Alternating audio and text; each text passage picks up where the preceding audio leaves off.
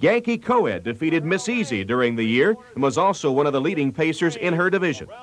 On September 1st at Rosecroft, Yankee Coed contested a $77,000 division of the Lady Baltimore, and she faced a stiff challenge from Laugh-Line. Yankee Coed rocks and rolls on top. One on the outside appears not good enough. Yankee Coed in the Lady Baltimore. Winning by a length, Yankee Coed was clocked in 154 and 4, a Rosecroft record for two-year-olds.